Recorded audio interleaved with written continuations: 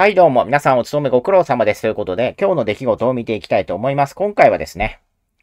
田母神敏夫が東京都知事選に出馬ということでですね、えー、東京都知事選、すでに注目がかなり集まってますけれども、まあ、小池百合子がですね、えー、参戦を目指して出馬して、えー、それに対してですね、え、小池を打つなら今ということでですね、パイク系野党が蓮舫をですね、え、候補者として出してきたということでですね、まあ、このまま行くと小池百合子対、えー、蓮舫かということでですね、もう東京都民としたらですね、なんでね、このどっちか、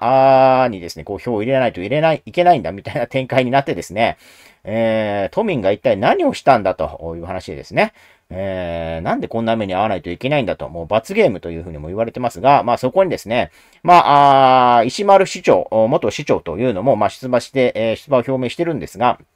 えー、そこにですね、えー、玉上敏夫氏がですね、えー、都知事選に出馬表明ということになりました。まあ、これ昨夜の時点でですね、えー、もうリークされていたんですけれども、今日になってですね、えー、本人からですね、こう出馬表明というのがありました。えー、玉上敏夫75歳、自民党が保守系の候補者を立てることができないようですので、7月7日の都知事選に無所属で立候補します。まあ、最近ではなんかこういう選挙に無所属で立候補するというのが流行ってるのかなんだかわかんないんですが、まあ、蓮舫もですね、もう蓮舫なんてどう見たってもう立憲の議員、えー、としか思えないわけなんですが、まあ、無所属で立候補ということになっています。バイデン大統領やトランプ大統領よりは若いので、まだ頑張れると思います。これから準備を始めます。ということでですね。はい。まあ、保守派からはですね、まあ、今もですね、まあ、一部では支持の厚い玉上、えー、敏夫氏がですね、えー、東京都知事選に出馬ということでですね、まあ、保守派の票の受け入れ先というふうにも、まあ、言えるわけなんですけども、まあ、当選できるかというとね、まあ、かなり厳しいんじゃないかなというところはあります。はい、これ、えー、玉亀市が出た2014年の東京都知事選の結果になりますが、増添が、当選した時ですね。もう今思うと、増添が東京都知事やってたっていうのもですね、もう黒歴史中の黒歴史。東京都知事っていうのはもう、10年以上ですね、まともな都知事がいないといったような状況でですね、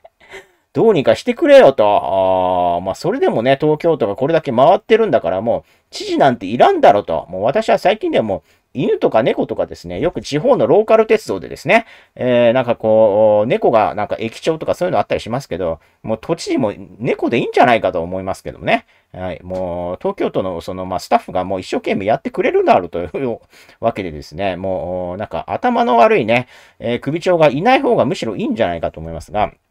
まあ、この時のですね、えー、都知事選の結果で玉上氏は4位。61万票を集めて4位という結果になりました。まあ、この時がですね、おそらく玉上氏のですね、まあ、人気のピークだっただろうというふうに思いますんで、まあ、この後、ちょっと選挙法違反でね、えー、まあ、捕まったりとかそういうところともあったんですが、まあ、この時よりもですね、その票が集まるというのは考えづらいところがあるんで、まあ、玉上氏、えー、まあ、出馬するのはね、まあ別に、えー、その、いいんですけれども、じゃあ、当選できるかというと結構厳しいな。えー、しかもですね、これによってですね、蓮舫が当選する確率が上がってきましたね。えー、まあ、玉上氏が、あこう、集められる票というのはですね、どっちかというと、蓮舫よりも小池百合子の方から票を奪うといったような動きになると思いますんで、えー、まあ、これは蓮舫にとっては朗報といったような話になるのかなという感じしますね。はい。で、えー、まあ、この玉上氏出馬についてはですね、まあ、昨夜からですね、匂わせというのがあってですね、はい。えー、昨夜つか、まあ、昨日ですね、はい、えー、これ、えー、ネタ元との約束で今は言えないが、多分今週中には都知事選もう一人それなりの有名人が出てきますと。一体これは誰なんだということでですね。はい、えー、結構話題になったわけなんですけれども、まあ、玉上氏のことを言っていたと。この人が出たらマスコミの主要候補は小池さん、蓮舫さん、石丸さんと並んで4社を立てる構図。この通りでいけばその人が3人を嫌った保守系支持層の受け皿になるかもということで。まあ、そうなるかなという感じしますけどね。はい。まあ、ただ当選まではいかないだろうということなので、まあ逆に言うと、パヨク候補からするとですね、はい、保守層の票が分散するということでですね、はい、渡りに船といったような状況に、えー、なりそうです。はい、え、そして高橋洋一氏もですね、小池蓮舫もう一人出てこないかということでですね、はい、えー、別の選択肢をね、まあ熱望していると、高橋洋一氏も都民ですから、はい、えー、このままでは票を入れる先がないというふうにですね、まあ、嘆いていたんだと思いますが、はい、えー、まあ続いてですね、えー、広いものだが恐怖の大三元だわなということでですね、まあ赤い狐と緑の狸の戦いというふうにですね、まあ昨日言われて、まあ私も動画でそれを紹介したんですが、いつの間にか一日経ったらですね、この三つどもえになっていてですね、えー、赤い狐と言われていた蓮舫がですね、えー、白い噛みつき紙になってました。もううどんでも何でもないです。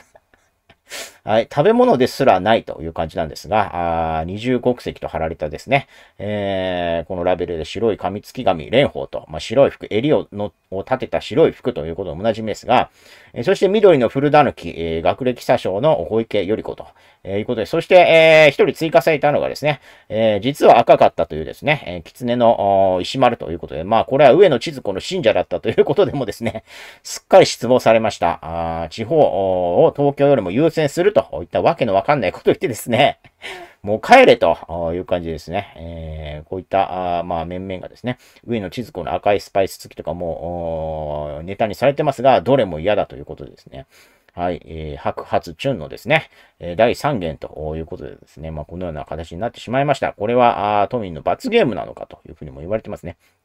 はい。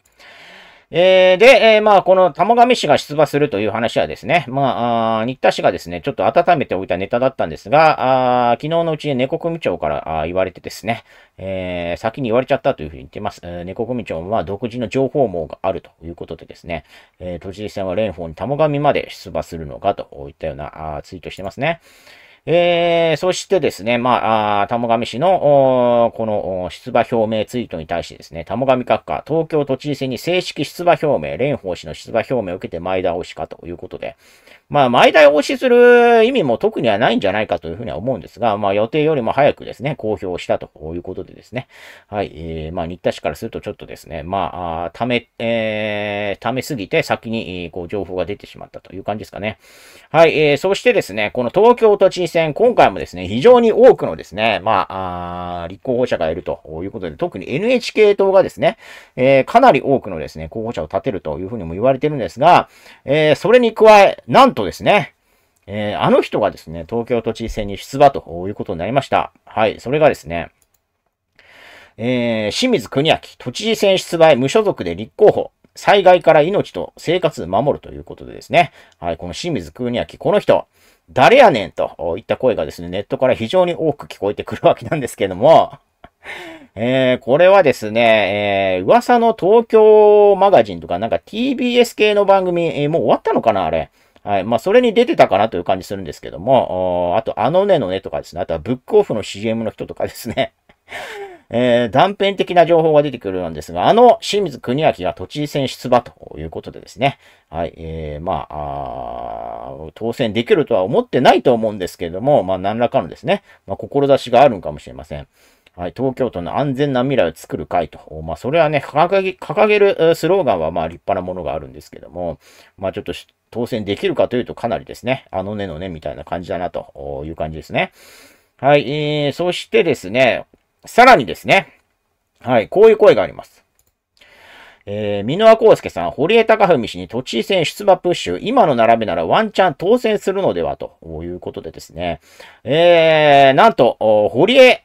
えー、ホリエモンですね。はい。ホリエモンでおなじみ、堀江貴文がですね、えー、都知事選に出馬したら当選できるのではといったような話があってですね、確かに、まあ、それはちょっとなんか面白い観点だなというふうに思いますね。はい。えー、公約はすでに書いてますということで、東京改造計画というの、これありましたね、なんかね。確かですね、なんか江戸城再建とかですね、そんなようなことを書いていたような気がするんですけれども、はい、えー、まあ、都知事選に出馬してもらえても、確かにね、ちょっと今のですね、その、候補者、あ名前が出てる中からするとですね、まあ、あんまりそう積極的にこの候補に入れたいっていうのがですね、あんまりないんで、まあ、ホリエモンということになれば、ホリエモンもね、かなりこう、賛否両論好き嫌いがですね、まあ、ある人物であるんですが、まあ、一応ビジネス的な観点で言えばですね、まあ、こう、多くの会社を経営していたということでですね、まあ、なかなかこうね、面白い都政をやってくれるのかなという気もしますんで、はい、えー、まともな都政ができるのかなという感じもしますんで、まあちょっとホリエモン都知事というのはですね、